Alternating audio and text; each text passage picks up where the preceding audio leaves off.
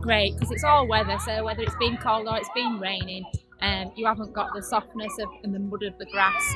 Uh, or, when there's ice on it, it melts quite quickly as well. So it, it's even if you've had a bad weather day, it, it, it by morning, mid morning, the children can still come and play on it.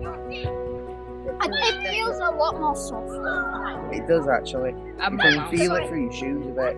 And it's bouncy.